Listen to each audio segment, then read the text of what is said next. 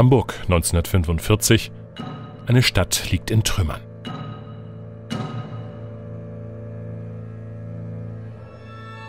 Nach sechs Kriegsjahren und knapp 200 Luftangriffen endet der Zweite Weltkrieg für die Hansestadt am 3. Mai 1945 mit der Kapitulation und dem Einmarsch der britischen Alliierten.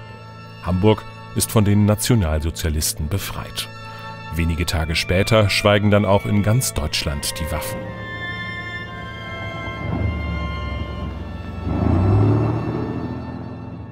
Als einzige Rundfunkstation in Deutschland, die zu diesem Zeitpunkt unversehrt und noch sendefähig ist, wird der Reichssender Hamburg in der Roten Baumchaussee sowie auch die Hamburger Presse unverzüglich von den Briten übernommen.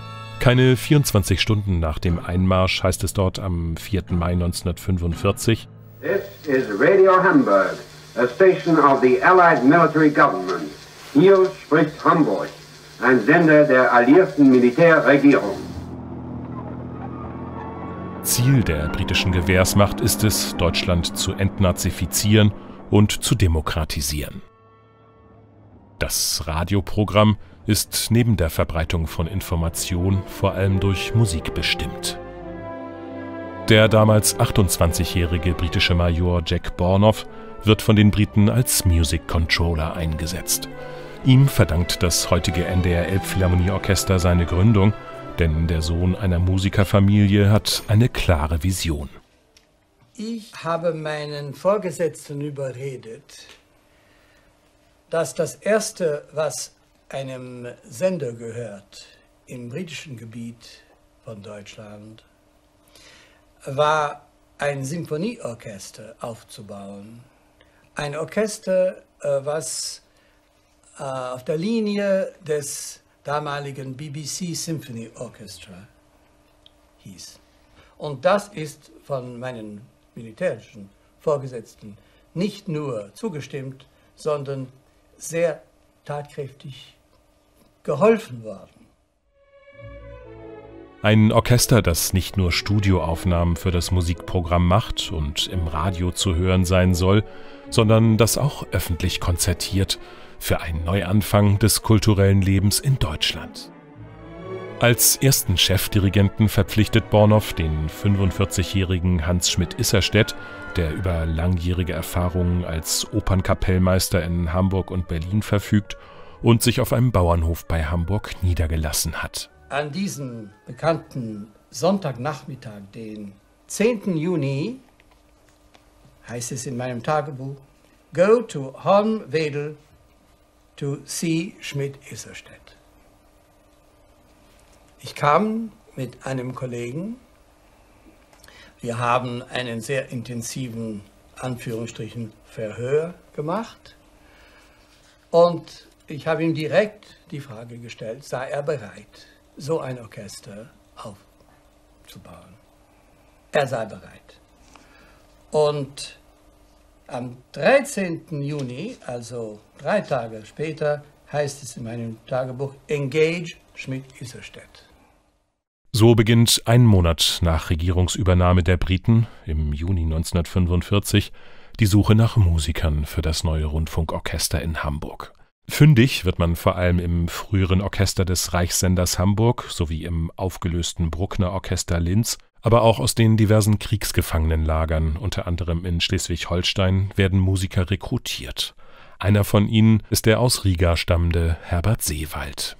Ich bin am 2. Mai 1945 um 17 Uhr in englische Gefangenschaft gekommen. Und da wurden wir aufgeteilt und sind dann gekommen nach Lensal bei den Bauern äh, Siems im Gefangenenlager. Das war unser Lager in der Scheune. Da waren wir gut aufgehoben, nicht? Auf Heu und auf Stroh, nicht? Und, das, und dann kam ein Rundschreiben mal, nicht? Und äh, da sagte mir der Kompaniechef, es werden, Herr, See, Herr Gefreiter Seewald, nicht? Ich war ja ein kleiner Gefreiter, nicht? Und äh, es werden Musiker gesucht, nicht? In Hamburg, nicht? Und äh, Sie sind doch Musiker, Berufsmusiker. Ja, sage ich, ich bin. Ich habe aber kein Instrument. Was spielen Sie denn? Kontrabass? Ich sage, ich habe kein Instrument. Da sagt er, hier kommt eine Truppe bald demnächst und äh, spielt äh, so für die Gefangenenlager so kleine äh, Unterhaltung so weiter. Nicht? Und äh, sprechen Sie mal mit dem Bassisten da, nicht? vielleicht lässt sich machen. Herbert Seewald darf auf dem Instrument üben, wann immer der Bass nicht gebraucht wird und wird schließlich zum Probespiel eingeladen. Bei der Auswahl der Musiker werden vor allem zwei Bedingungen gestellt. Die Kandidaten müssen musikalisch exzellent sein und entnazifiziert. Schmidt-Isserstedts Motto ist klar. Wenn wir hier nicht etwas ganz Außerordentliches auf die Beine stellen, brauchen wir gar nicht erst anzufangen. Ein Takt vor A nochmal. Unter den versierten Musikern, die nach Hamburg geholt werden können, sind auch drei Mitglieder der Berliner Philharmoniker, die Schlüsselpositionen des Orchesters einnehmen, wie später in einem Kinovorspann präsentiert wird.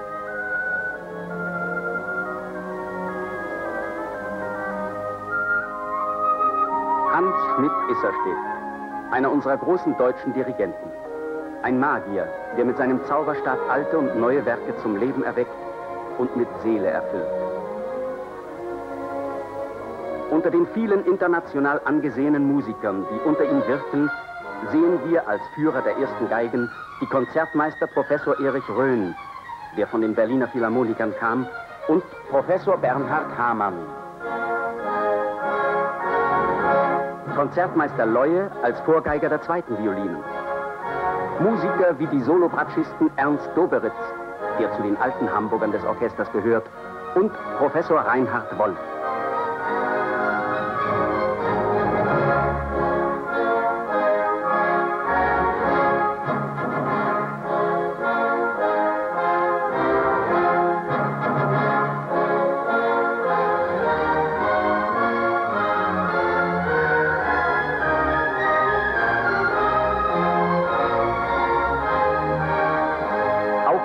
Solocellisten sitzt ein Mann, der bereits bei den Berliner Philharmonikern Rang und Namen hatte. Professor Arthur Tröster.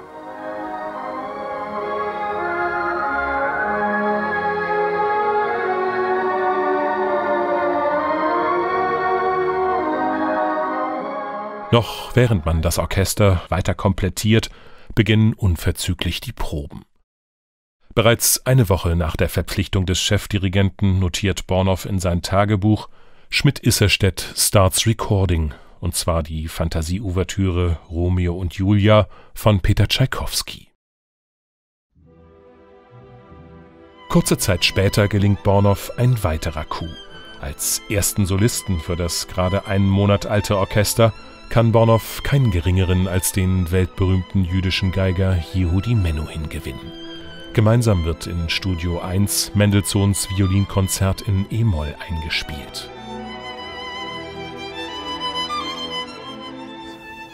Das war das erste Mal, dass ich mit einem deutschen Orchester, einem deutschen Dirigent spielte, nach dem Krieg. Ich war in Hamburg, wollte das tun, was ich konnte, zur wieder das Vertrauen zu, aufzubauen und sogar von einem Jude zu den Deutschen durch Musik, durch Mendelssohn, durch, das, durch diesen Orchester, durch Hans äh, Schmidt-Isserstedt, äh, das war doch ganz normal.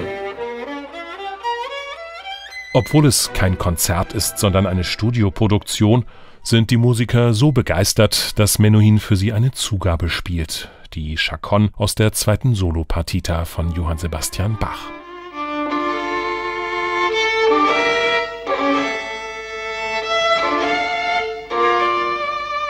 Die Chaconne habe ich so oft gespielt und das war ein Kindestraum von mir, dass ich, als ich 19 Jahre alt war, dachte ich, ich könnte die Welt verbessern, indem ich die Chaconne in die Sistine Kapelle spielen würde. Aber hier war nicht gerade die Sistine Kapelle, aber es war ein Moment der Versöhnung und das wollte ich ausnutzen. Zu der Zeit hat Hamburg so gelitten, nicht wahr? Hamburg war eine Art, äh, wie sagt man, bescheidene Hiroshima, nicht wahr?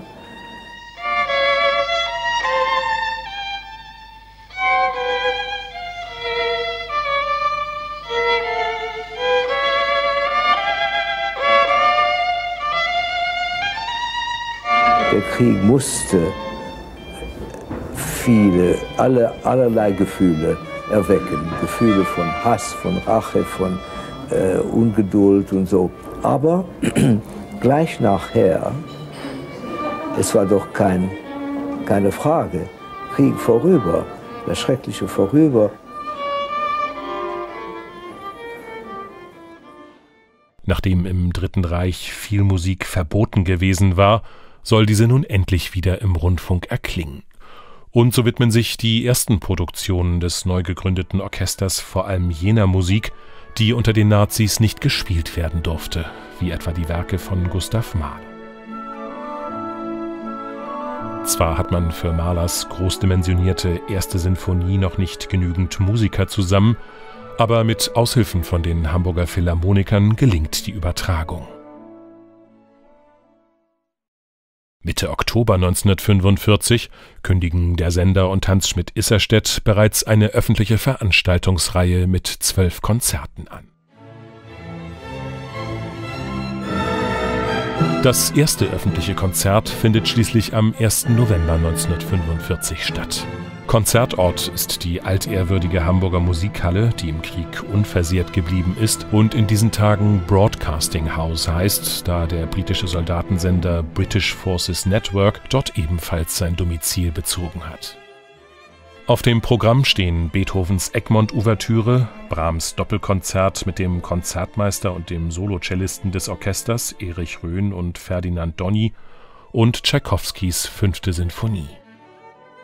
Diesem Konzert sind bereits zwei Aufführungen vorausgegangen. Am Nachmittag des 30. Oktober eine für Studenten und eine zweite für die Briten am Tag darauf um 18.30 Uhr.